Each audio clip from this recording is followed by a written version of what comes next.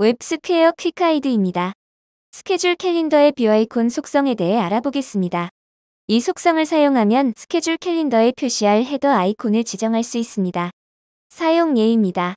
달은 month로 주는 basic week 혹은 agenda week 일은 basic day 혹은 agenda day를 사용하여 월과 주, 일 단위를 모두 표시하거나 특정 단위만 표시할 수 있습니다. 예제를 통해 확인해 보겠습니다. 스케줄 캘린더입니다. view icon 속성 값을 별도로 지정하지 않을 경우 스케줄 캘린더의 우측 상단에 월, 주, 일 단위가 표시됩니다.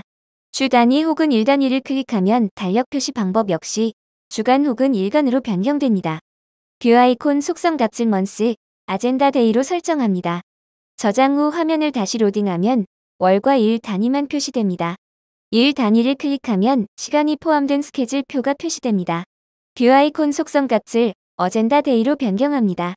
저장 후 화면을 다시 로딩합니다. 시간 단위로 스케줄을 추가할 수 있는 일간 스케줄표만 표시됩니다. 이번에는 view type 속성 값을 month, basic week, agenda day로 변경합니다. 저장합니다. 화면을 다시 로딩합니다. 주 단위를 클릭하면 시간이 없는 스케줄표가 표시되고 일 단위를 클릭하면 시간이 있는 스케줄표가 표시됩니다. 마지막으로 view icon 속성 값을 month, agenda week, agenda day로 설정합니다. 저장합니다. 화면을 다시 로딩합니다. 주 단위와 일 단위를 클릭할 경우 모두 시간이 있는 스케줄표를 표시합니다. 웹스퀘어 quick guide를 시청해주셔서 감사합니다.